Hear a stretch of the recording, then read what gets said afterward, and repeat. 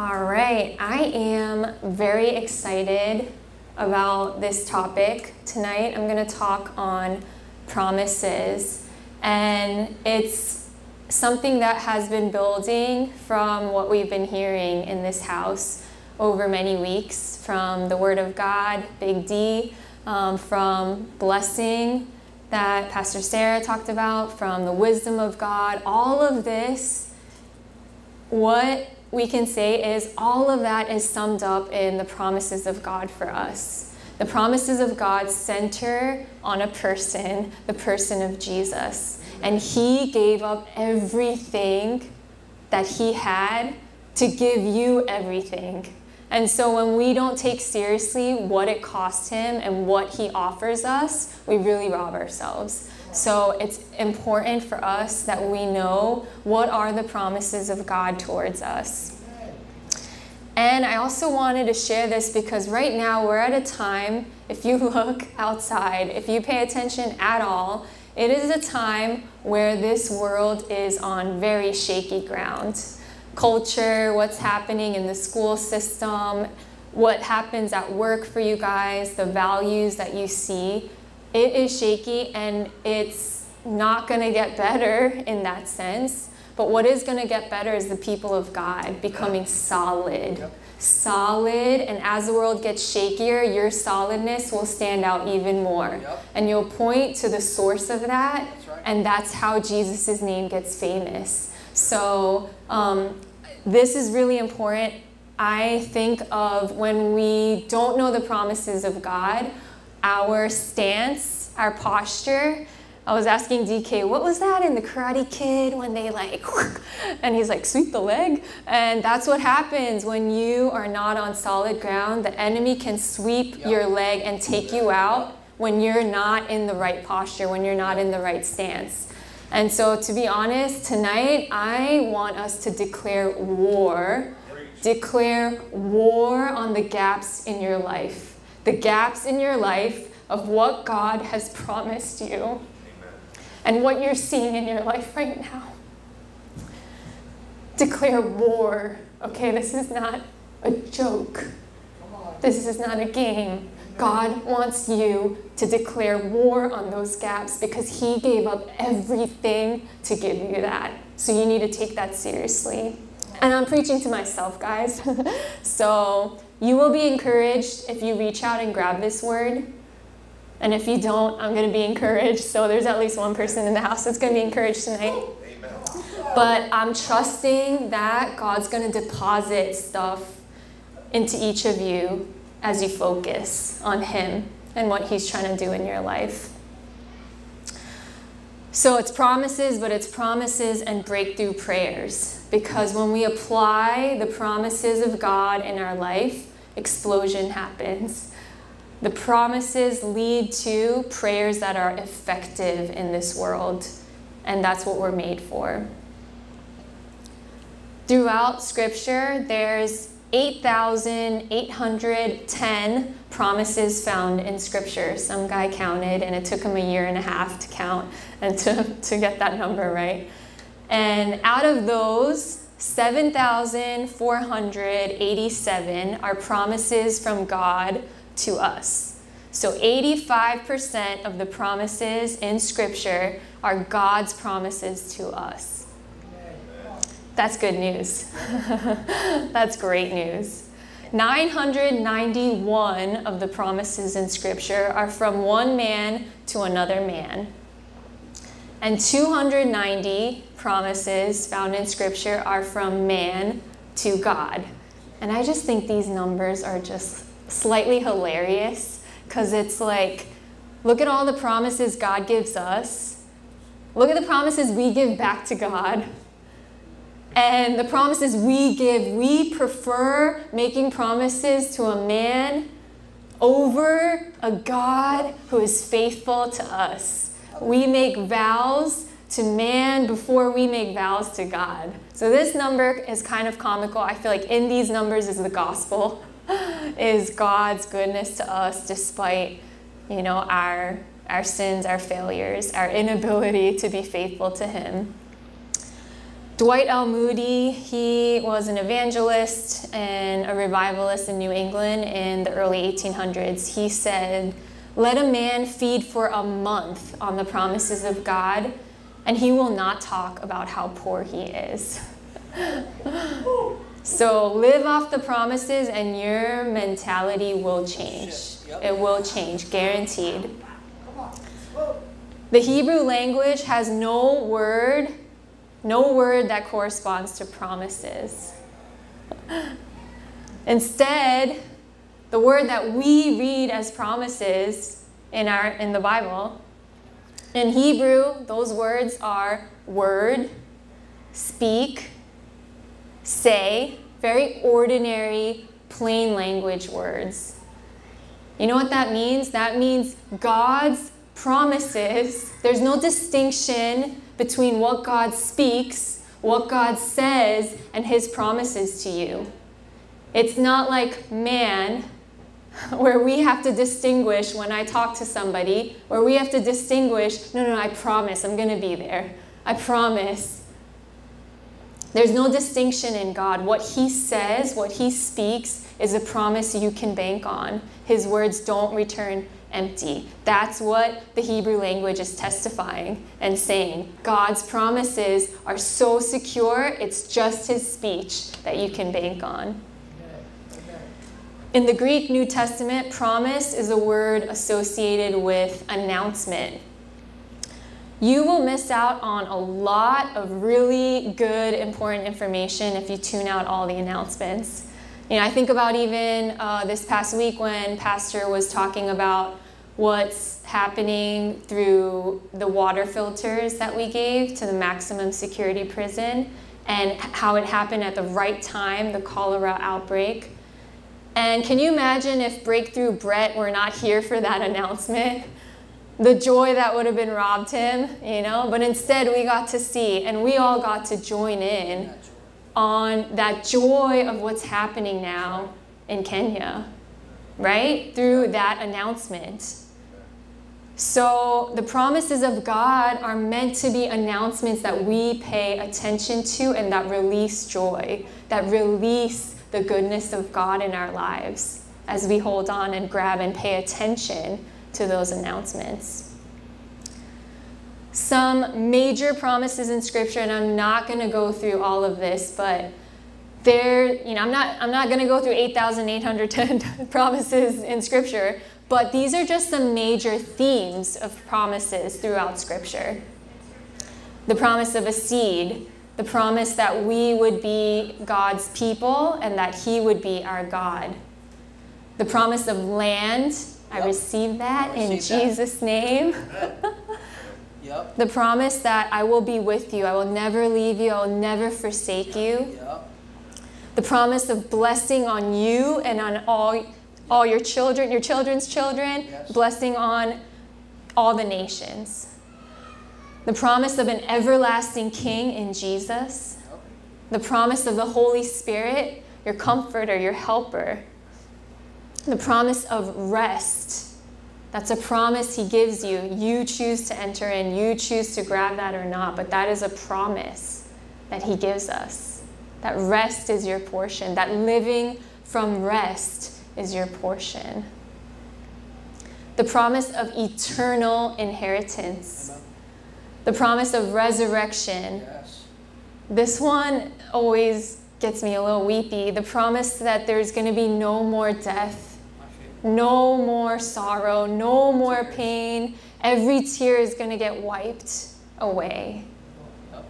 That's a promise the promise of an unshakable and ever increasing kingdom, which means it's a lie that this world is getting worse and that Christians are decreasing and that the kingdom of God is decreasing. No, of the increase of the government of Jesus, there will be no end, which means his government is ever increasing all the time.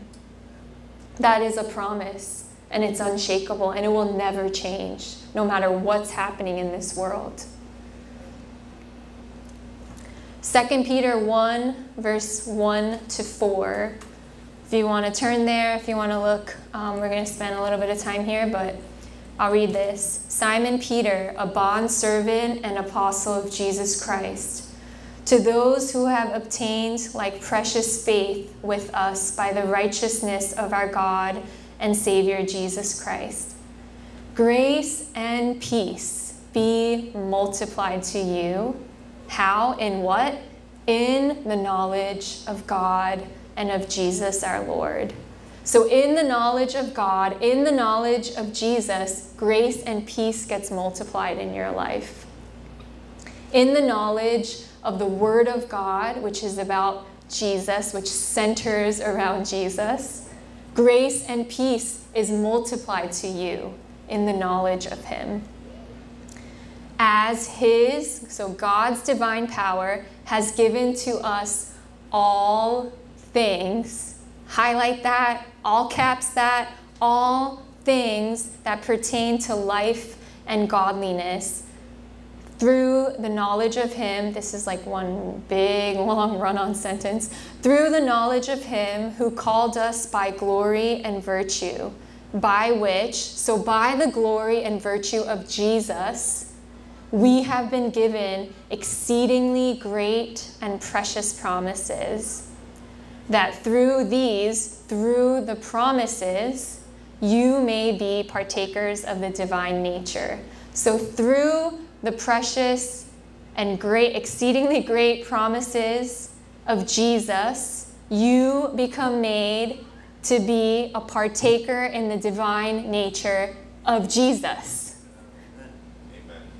So, God gives us the promise that comes through the glory and virtue of Jesus, and in us receiving those promises and living obedient and grabbing a hold of those promises, we become partakers of the divine nature of Jesus. That's how we're transformed into the image of Jesus. We grab a hold of His word. We grab a hold of His promises. We let them sink in. And as we do, we're transformed into the image of Jesus. And through that, we escape the corruption that is in the world. I mean, this is great news, right? God is the one who gives. God does it through Jesus, through His glory, through His virtue. And we receive that and become like Jesus. What's our part then, right? Because that sounds like pretty great deal. Happens by God, through God, in God, and we receive it. What's our part? Our part is faith, perseverance, perseverance, and obedience. And there's verses up here. But all of these have to do with mindsets. Mindsets. Over and against circumstances, over and against what you're facing, the challenges, over against what other people are saying, over against what doctors say, what does your faith look like? Faith is demonstrated in trust, in active trust, in doing, in action. So that's how we inherit the promises of God. Perseverance, uh, just one of the verses. And so after he, Abraham, had patiently endured, he obtained the promise. So it requires endurance, it requires perseverance, because that's also how faith is demonstrated through the test of time. Do you still hold on? And obedience. Be faithful in what he stewards, and he will give more. He will give more. Be obedient in the little. This is how the promises are inherited little by little, incrementally over time. Yep. That's how the promises of God are inherited. So, this is about mindsets. And I want to ask everybody where in your mind are you in need of an upgrade? Where in your mind are you in need of an upgrade? This past week, Monday, Tuesday, there's a conference happening this weekend for Abner, and we just had one a few weeks ago, so it's kind of been a, a busy season. Um, and this past Monday and Tuesday, it was just like literally every five minutes, a little fire here and there, just coming up left and right all over the place, which to me means this weekend's going to be amazingly powerful. it's going to be explosive. That's that's what it means. Um, it it also means that um, I got tested. I got tested this past week, and um, some um, I'm helping prepare. I'm helping take out these fires, and you know I have to say God really called me out on my attitude. Um, he really called me out on my attitude, my heart posture. And I like this. There's no consolation from God of like, you were right, all these people, they're not reading your emails, you know. If they just scrolled down a little, they wouldn't have to ask you all these questions and call you every five minutes. There's no, there's no consolation from God around that. You know what I heard him say? I heard him say, Tina, you need to mature. You need to mature. You need to move past this. You need to grow past this. And I said, You are absolutely right, Lord. I'm so sorry. This is terrible. Like, the whole purpose of this is to serve the people and to give them an amazing weekend. And my attitude was so poor.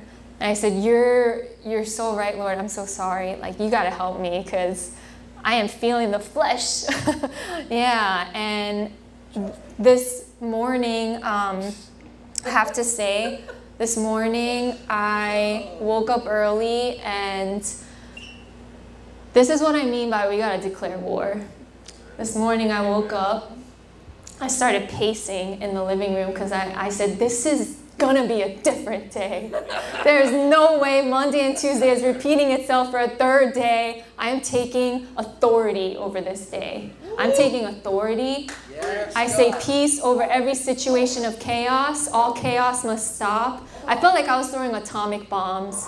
I said, you know, every place where in the enemy's camps my name is written, DK's name is written, our family, this church, Abner Suarez is written, the ministry is written. I, dec- I just cast all of that. I throw fire of the Lord Jesus Christ in the enemy's camps where our names are written to destroy and annihilate every plan, every weapon that he's trying to form against us. I destroy it in the name of Jesus. Every place of chaos, I speak order into right now. Every person that's registered for this conference is going to be blessed. It's going to have an encounter with the Lord Jesus Christ. It's going to be an upgraded in Jesus' name. I was declaring war. I, really felt like I had like camouflage paint on. I'm like, I'm ready to battle. I got guns. I'm ready to go to war because I am not having Monday and Tuesday repeated. What happened this morning is I got an upgrade. I got an upgrade. But in order to get an upgrade, I got called out by the Lord. I got corrected. So, what we need to do is we need to let God correct us. We need to let God answer this question. Because what He wants to do is He wants to upgrade you. There should be no shame. There should be no shame in correction. There should never be guilt. There should never be condemnation. You should never accept that. That's not from the Lord. Take all of that off and ask God, what's the upgrade? Where do I need to be upgraded? Where do I need an upgrade? And the truth is, we all need upgrades. I'm going to need an upgrade tomorrow. Thank you, Jesus. Amen. And I'm going to get it if I posture myself right. So, this is limitless. God wants to give us the mind of Jesus so that what comes out of us when we're pressed is not me, because that's what came out of me Monday, Tuesday. God wants Jesus to come out of me. God wants Jesus to come out of you. And we need upgrades for that in order for that to happen. So I want us to spend just a minute, ask God, is it in an attitude towards another person? Is it how I'm thinking about a project, a work situation? Uh, is it a family member? Is it my financial situation? Is it something I'm waiting on? Is it a transition I'm in? Where, Lord, do I need an upgrade? And I'm going to give you a minute to allow the Holy Spirit to speak. And even you watching, don't forward this, you know, get past, past the minute. Spend time asking God, where do I need an upgrade? Don't rob yourself of what He wants to give you. So I'm just going to give you a minute and pause, and God's going to show you where He wants to give you an upgrade. Thank you, Lord.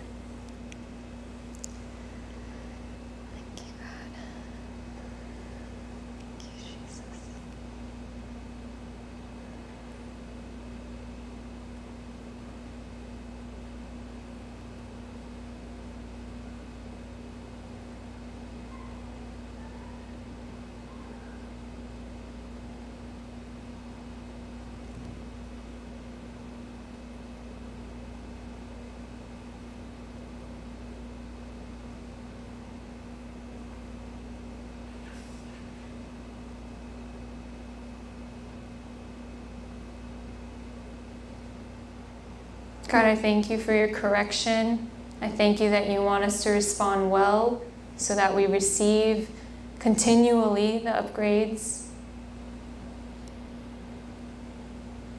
Yeah, and show us how, Lord. Show us how to walk this out in Jesus' name. Amen. This guy, George Mueller, you guys heard of him? You know who's heard of him? Bishop Zoe's heard of him. she really knows him. Um, powerful, powerful lady.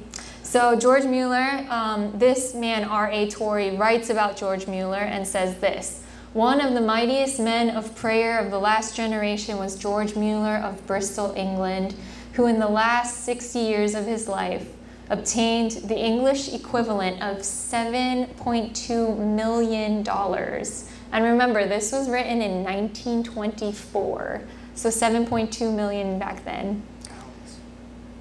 And G- George Mueller never prayed for a thing just because he wanted it. He also never asked for money. He always just received it by prayer.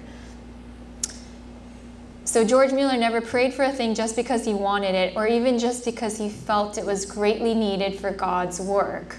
When it was laid upon George Mueller's heart to pray for anything, he would search the scriptures to find if there was some promise that covered the case. Sometimes he would search the scriptures for days before he presented his petition to God. And then, when he found the promise, with his open Bible before him and his finger upon that promise, he would plead that promise. And so he received what he asked. He always prayed with an open Bible before him. That's an invitation. That's an invitation. He would always say he doesn't even have the gift of faith the way you think about it in 1 Corinthians. He just lived a life of developing trust, developing trust in God, and that just continued to increase in this situation he saw God come through. Okay, trust Him more, trust Him more. And he built a lifestyle of trust. And that's how he saw the promises of God. He built five orphan houses and cared for 10,000 orphans in his lifetime. And he says that the three chief reasons for establishing these orphan homes were in order of significance. First, that God would be glorified. He wanted, through the establishment of these houses, he wanted people to know that God could truly be trusted in every area, every need of your life. That was the first and primary reason. And second, it was about the spiritual state of the children. And then third, it was about their material state. But first and foremost, it was about the glory of God. And to be a witness to say to people, truly, God can be trusted in every need, in every situation, in every circumstance you find yourself in. So, this is a model for us because he would say he's not special. He's just walked it out. He's just chosen to believe that the Bible is true and that we can have what it says. Unlike George Mueller, many times people's prayer lives are in reaction to circumstances. Nobody in this room, I'm sure, but people out there. Pe- people's prayer lives are in reaction to circumstances. So something comes up and then your prayer life is activated. That's most people. Dear God, help us. God intends for our prayer lives to be proactive, for you to create the environment you want to walk in, you want to live in, you want to create that environment at your workplace, at your home, eh, at church, outside in the streets. That's God's intent, is that our prayer lives would be a proactive stance where we create the environment that we want to live in through our words. And this is not about manifesting, you know, and just saying what you want, incantations, that's uh, witchcraft. that's witchcraft. So this is not about that. This is not trying to manufacture a world, an idyllic world we want to live in apart from God. That's right. This is about speaking words that are in line with the Word of God, and that's how things are created. It's living in dependence on the Word of God, Jesus. And in dependence, in relationship with Him, you speak words that create His kingdom and move His kingdom forward. And that's what God intends our prayer lives to look like. Amen. Not a reaction, proactive. Proactive. Good. So, this is an invitation for us, even that little exercise we did, do it every day. If God wants to give us upgrades all the time, we're the ones that are holding back from receiving that. So, be proactive in your prayer life. Don't let a Monday and Tuesday lead to the Wednesday. Just start off the Wednesday every day and have that be your normal. I'm, I'm talking to myself too. So, these are some examples of ways that we can use words and create and partner with the Word of God. Um, read this in your heart or out loud if you want, but I'll just read them out loud. These are very simple prayers you can pray every day, every morning. Just speak these out. Father, thank you that today is going to be a great day. Thank you for health over my family, my children. Thank you that you will supply every need according to your riches in Christ. I speak life over my body. I speak your wisdom, your revelation over every decision, every situation I'm going to face. I speak your wisdom and revelation over it. I speak order and peace into every place of chaos that will come before me. Yep. Thank you that you're my help and you're my shield, that you're mindful of me, that you bless those that fear you. Thank you that you cause my eyes to be opened to see wondrous things in your word that I otherwise would not have been able to see apart from you. Thank you that your word causes me to have great peace where nothing can make me stumble. Thank you that when I'm reproached for the name of Jesus, I'm blessed. The Spirit of glory and of God rests on me. Thank you for the Holy Spirit who continually pours out the love of God, the love of the Father, into my heart. These are really simple, but they're all based on the Word of God. And you just speak it over yourself, and it shifts your mindset, it shifts the environment you, you walk in. Excellent. There's another situation for you to ask God to speak to you about a place of reconciliation and blessing. Father, is there someone that you're wanting me to live in greater reconciliation with? Is there any place my heart's offended? All the blessings and the things that you want for yourself. Is there anyone you don't share that same heart of blessing towards? Is there anyone God's bringing to mind when you ask these questions? If that's the case, what I would say is, and, and I have so many testimonies of this, I'm not going to share them, but I have so many testimonies of this where privately I am praying the blood of the cross of Jesus Christ between a relationship.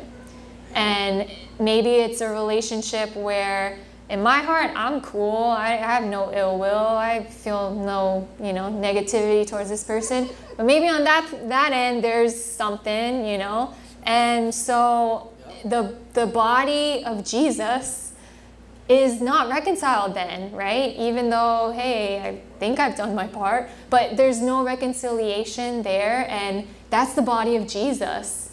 I don't care for that person liking me, but I want them reconciled to Jesus. I want them reconciled to the body of Jesus. So, this is what I pray. I pray the blood of Jesus to stand between us because that's what brought reconciliation between us and God. The blood of Jesus by the cross of Jesus Christ. So, I'll just pray, God, I pray the blood of Jesus, the cross of Jesus to stand between me and blah, blah, blah, blah, blah and I bless them in Jesus' name. Yep. That's how simple it can be. And there have been so many times, guys, where someone has apologized to me later, somebody has given me a hug later, and I know it's not me, it's the blood of Jesus being effective over that person's life and over whatever was there that the enemy tried to put in between. So, this is what you do when God brings up, hey, is there somebody is there somebody that, you know, your heart's offended at? Or is there someone where you don't quite have a fullness of blessing towards them? You pray this and see how things change in your own heart and in the relationship too. That's one example.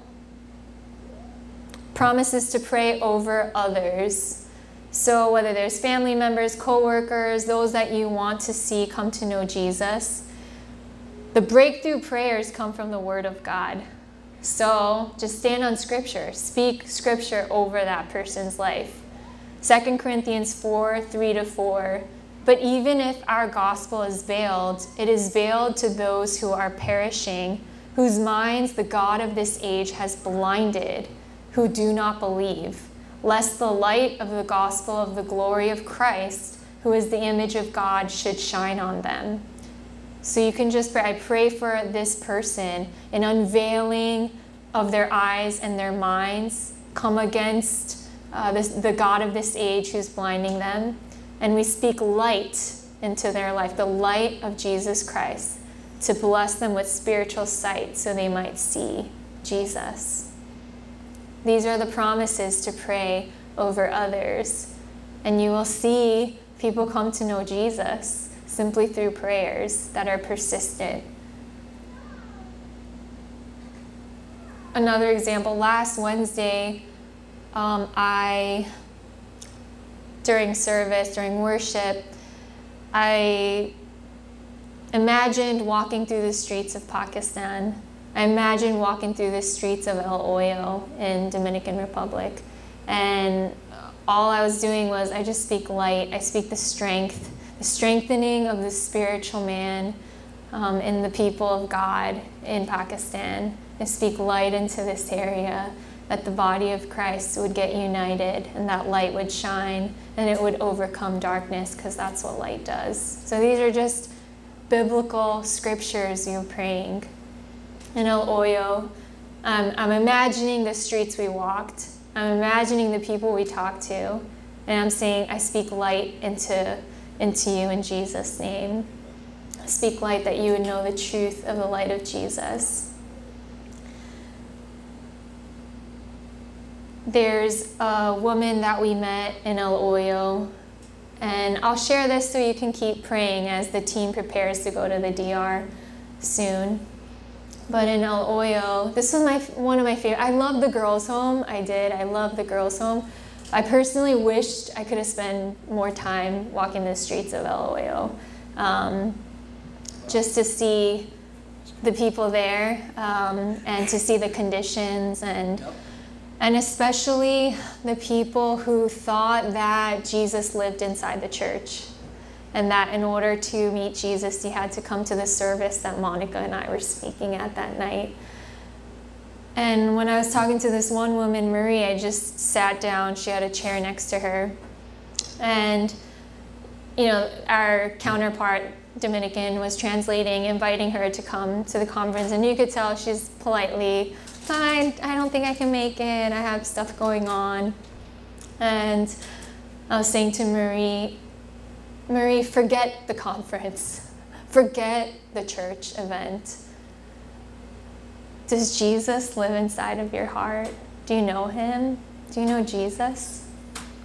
And she said that she did a long time ago, and both her parents were pa- are pastors. and she's just left left the faith. And I just had a very simple conversation with her. I just said, you know, if Jesus was alive and walking the earth today, do you know where he would be right now?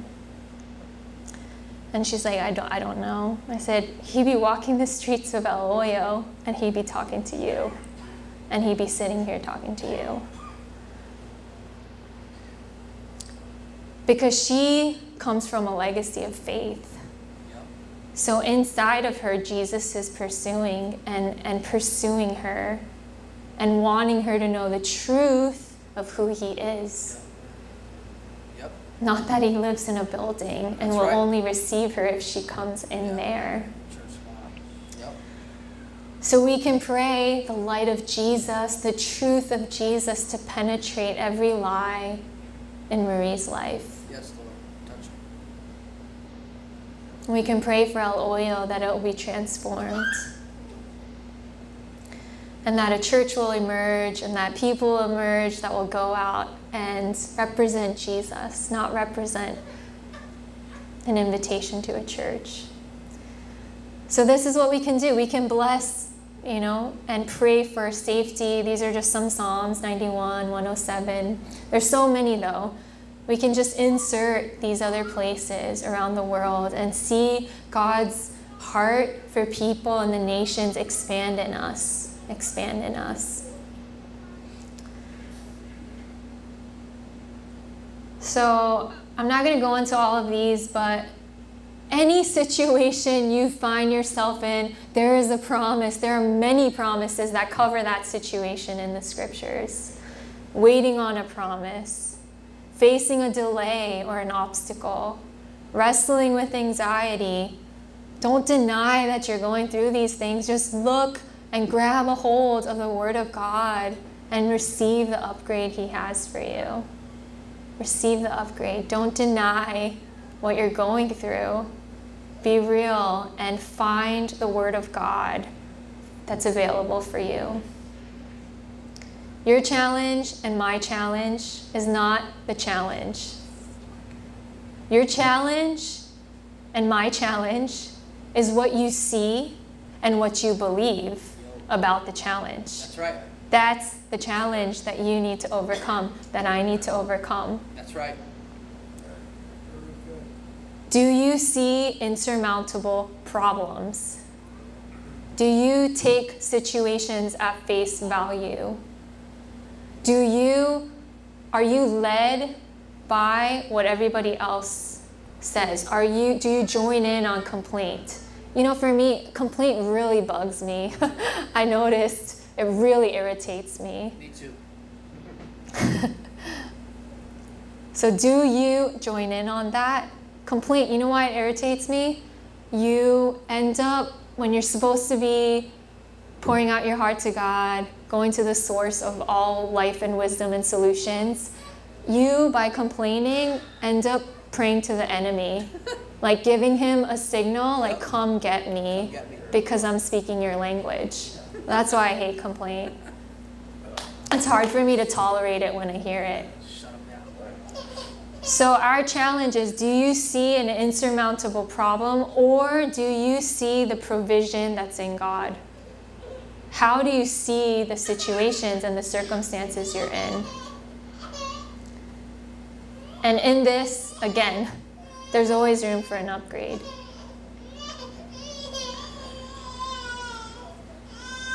Matthew 9, I'll close soon. Matthew 9, verse 27 to 29. When Jesus departed from there, two blind men followed him, crying out and saying, Son of David, have mercy on us. And when he had come into the house, the blind men came to him. And Jesus said to them, Do you believe that I am able to do this? This is the key question. They said to him, Yes, Lord. Then he touched their eyes, saying, According to your faith, let it be to you. According to your faith. Jesus' question to us very often, we might not perceive it, but very often he's asking us, Do you believe I'm able to do that? Do you believe that I'm able to take care of you? Do you believe that I'm more powerful, that I have more understanding, that I have the strategy, that I have the wisdom, that I have everything you need in this situation? Do you believe I'm able to take care of you? Yes, This needs to be our response. This needs to be our response. Because according to your faith, Jesus says, let it be unto you. That's what we receive according to our faith. God is able, period. Amen. God is able inside of himself to do and to be everything that we need, Yes. everything that we could long for. God is able. Amen. Excellent. Excellent. God is not a man that he should lie, nor a son of man that he should repent. Has he said, and will he not do? Or has he spoken, and will he not make it good? That's Numbers 23 19. Faith in God's promises, that's about saying, God, I have complete and total confidence in your integrity that you are who you say you are, that you do what you say you'll do, that in the Word of God, I am who you say I am, that I can have what you say I can have, and that I can do everything you say that I can do. Amen. Yep. Yep. That is faith in God's promises. It's you saying, I believe in your integrity. I believe in your integrity, God, and I bank on it. So, God, we ask for your help in this. And we just say, Yes, we agree. We speak over ourselves that I am who you say I am, that I can have what you say in your word that I can have. Thank you. Check my track. That I can do everything you say I can do according to your word. God, we speak that over ourselves, and every lower thought, we pull it down and we rebuke it and we silence it in Jesus' name. And every place of oppression, every place that's been holding us back, every place where we've put on burdens on ourselves to try to do things in our own strength, we repent, God, and we ask for an upgrade. We ask for an upgrade today, and we ask for another one tomorrow, Yes, Lord. I'll take that. and another one the next day. And more throughout the day. Yes, Lord. Two a day. I'll take three. God, we thank you for your generosity Yes, towards us, that it's Jesus, you made a way Yeah. for us to have all of that. That's right. Thank you. Thank you. Thank God, would our knowledge of you, our love of you increase, our appreciation of you increase, our trust of you increase. God, so that nothing that comes against us can take us out, can sweep our legs. Amen. Amen. Amen. Amen. Thank you, Lord. We love you in Jesus' name. Amen.